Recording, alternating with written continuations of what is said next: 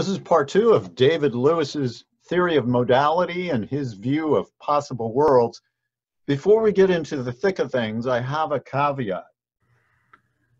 Hello, before I get into the details of his theory of modality, I just thought I'd let you know that while I will do my best, of course, to describe the theoretical ideas that are important for understanding Lewis's approach to modality, it is relevant to know that we are calling on ideas related to personal identity over time, especially.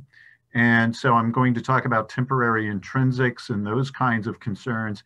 As I record this, I've not made videos on that topic, but you uh, may be viewing at a time after I did make videos on that topic. So if, as you're going through this, things are a bit confusing, I encourage you to make sure that you understand some of the background metaphysical concepts and then go through the video one more time if, if you need to.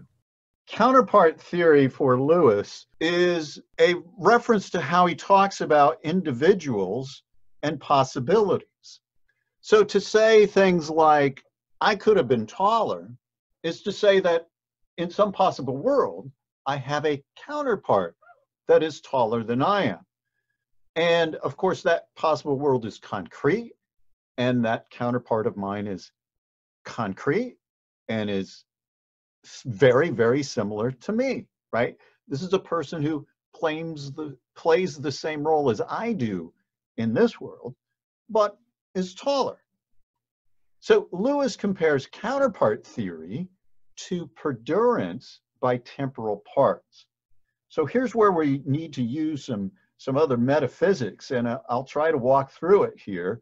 So one difference between counterpart theory and, and temporal parts is going to be that the transworld individual composed of counterparts is for the large part ignored, although we do want to say a few things.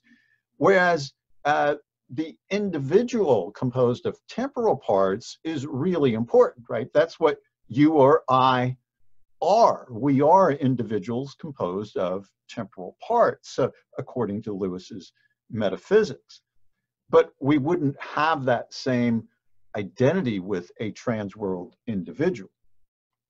So let's think about the problem of accidental intrinsics, right? Consider the principle of the indiscernibility of identicals. So if X is identical with Y, then X and Y have all properties in common. So we use this principle in our everyday reasoning. Detectives use it to identify a perpetrator of a crime uh, sociologists, archaeologists, even natural scientists use this principle, right? It's, it's very reasonable. If, if we have one individual, that one individual has all and only those properties that the individual has. And if we're talking about something that has a different property, then we're not talking about that individual. Okay, so the indiscernibility of identicals motivated Lewis to affirm temporal parts and perdurance, right? So the idea here is that if I'm sitting and in two minutes from now I'm standing, well, we have two different properties, and these are uh, contradictory properties. You can't be both sitting and standing at the same time.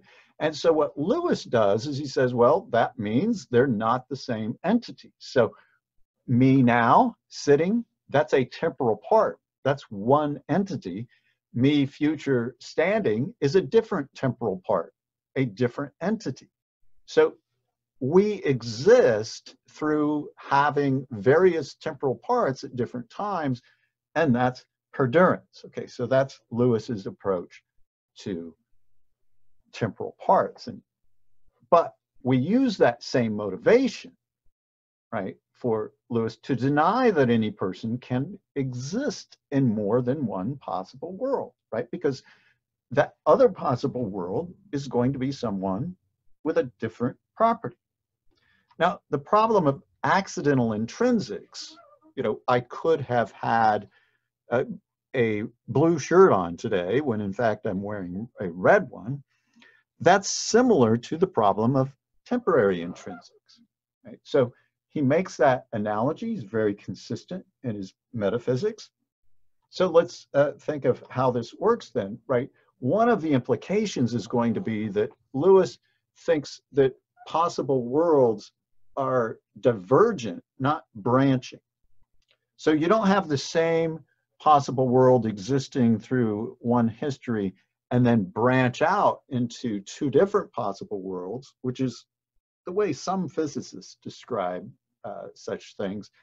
But philosophers, Lewis, who's a concretist on this, uh, says that no, in fact, you have uh, two different possible worlds throughout the same time, right? They just have overlapping segments, segments that can be described in exactly the same way, but uh, they are two separate, distinct possible worlds. Okay, before we go on into uh, more of the theory, uh, this is not quite as significant, but I thought I would mention there are some concerns about labels. So for example, uh, Mike Loux and many others label uh, Lewis as a possible world nominalist. But Lewis doesn't accept that label. He calls his position modal realism, and he claims that others, like Alvin Plantinga, are modal ersatzers. Uh, they're not taking uh, modal modality seriously. Now, the, the complete charge comes from the other side. So Plantinga rejects the label, of course, it's somewhat insulting. He argues that his position is the realist position because he takes modality seriously, right? It's modality that he's taking seriously. So he argues that you can't reduce modality to something else, which is exactly what Lewis is doing. He's reducing modality to sets of concrete things.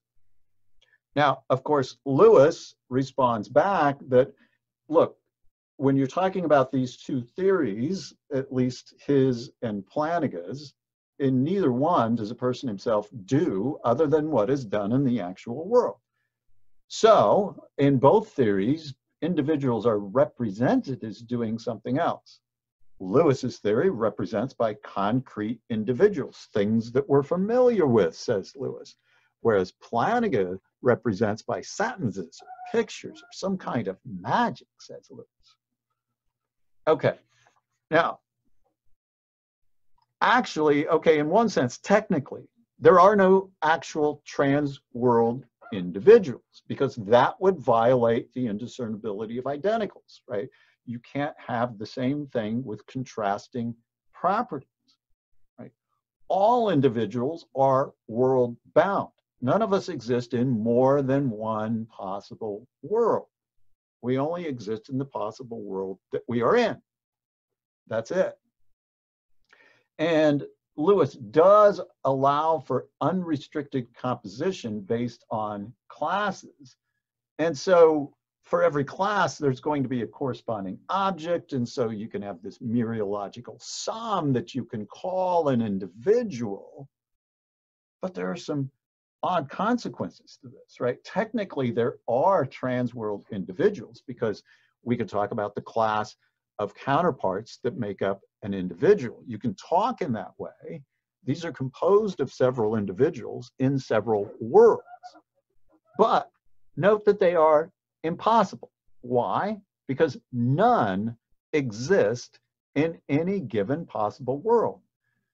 And if something fails to exist in every possible world, then it is impossible.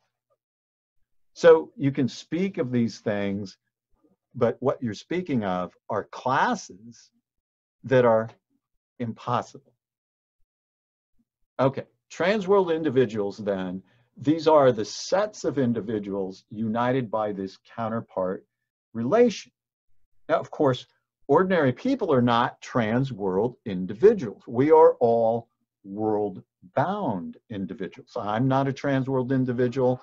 You're not a trans world individual. Uh, no other object is trans world individual. None of the things we're normally interested in in terms of possibility and necessity and so on. Because none of these things exist, those actual things we're talking about, none of them exist in more than one world. Okay, couple final points. Ordinary objects exist according to multiple worlds. So we can talk about, you know, I exist in some other possible world, but we have to keep in mind what we're doing there is we're saying that there is a counterpart of me that exists in that other possible world, right? So I don't exist in multiple worlds. I only exist in one. Now, this sounds like you're getting rid of de re modality in terms of possibilities, at least, right? It sounds like then it seems like it's impossible for me to be taller than I am or have different colored hair or wear different clothes on this particular day. But de re modal properties can be explained in terms of what properties one one's counterparts have. That's how you talk about de re modal properties. So if every counterpart of x has a property p, then p is essential to x.